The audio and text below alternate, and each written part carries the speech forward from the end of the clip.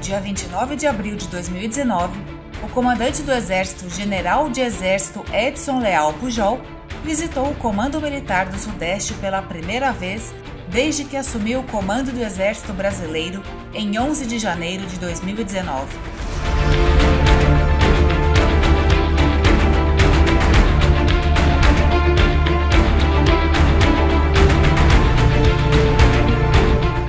Sequência, o comandante do Exército presidiu uma formatura no pátio Sargento Mário Cosel Filho, com a presença de diversas autoridades militares.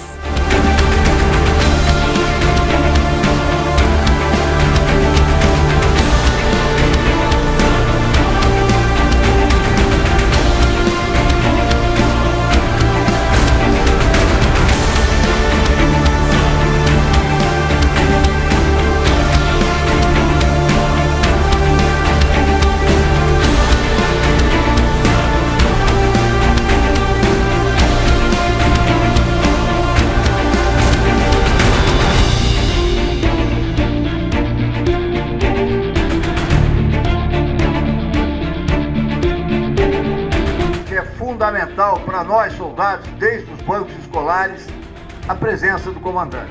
O Comando Militar do Sudeste é integrado por militares dedicados que acreditam na missão.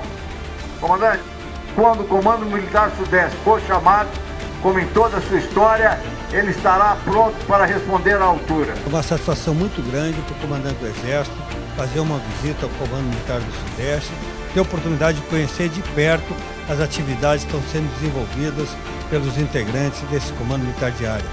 E com orgulho, com satisfação, que eu vejo que o profissionalismo, a dedicação, a responsabilidade, a vibração de todos os integrantes desse Comando Militar Diário no cumprimento das missões.